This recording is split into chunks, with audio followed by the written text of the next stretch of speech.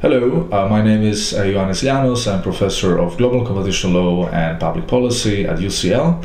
I will introduce you today to the model on competition law and intellectual property rights promoting innovation. This module illustrates the interaction of competition law with policy tools promoting innovation, in particular competition law and intellectual property rights, and shows the way in which the law can work as a key instrument of innovation policy.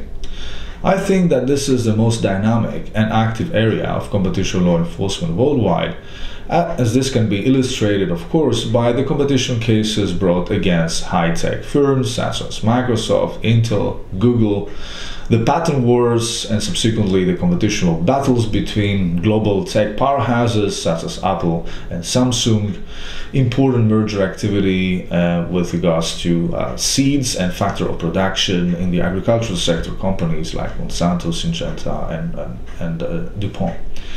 These cases uh, push competition law and intellectual property law to new boundaries and bring also forward the issue of establishing institutions that are aware of the challenge of protecting innovation and dynamic efficiency. The course will also explore the compatibility with competition law of various other instruments than IP rights that are used by states in order to promote innovation, for instance, subsidies or patent boxes, tax incentives, etc. The subject cover include innovation policy and its interaction with competition law and IP law, the tension between sector-specific approaches to IP law in particular sectors and the more horizontal approach of intellectual property law.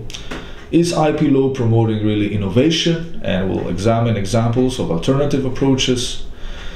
Then the application of competition law to monopolistic practices involving IP rights vertical integration and related licensing practices by IP holders, horizontal restraints involving IP rights licensing, mechanisms integrating competition policy concerns within intellectual property law. We look to mechanisms involving uh, the integration of uh, competition policy principles in intellectual property law, for instance, the patent misuse doctrine or compulsory licensing the interaction between competition law and intellectual property rights in specific sectors will be also focus of our uh, course. Uh, we will focus on the pharmaceutical industry, uh, the IT sector, uh, the foods industry, uh, among certain examples, the fashion industry as well. The sharing economy is also raising important challenges to competition intellectual property lawyers and more generally, we'll focus on the role of the state in promoting innovation and the possible conflicts between that role and EU state aid role or other uh, WTO subsidies uh, regulation. So there are various reasons why you should choose this course. From a practical perspective, the course provides an understanding of two of the most important and dynamic areas of legal practice nowadays competition law and intellectual property rights, both of them being the areas of law that interact closely with technology. So, in case you're interested in the interaction between law and technology, this is really a course for you.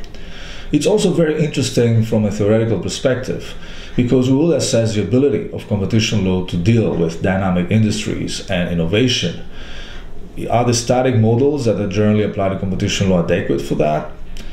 The course also will help to critically assess the role of intellectual property in the promotion of innovation and explore alternatives to promote innovation. We will understand the role of the state vis a vis markets in promoting innovation. We will understand and critically engage with the global governance of competition policy in innovative industries we'll explore the interaction of law with technology and understand how technology may shape the legal system. The seminar will include case studies from various economic sectors, as I said, the food industry, pharma, the IT sector, biotechnology, databases, music industry, and fashion industry.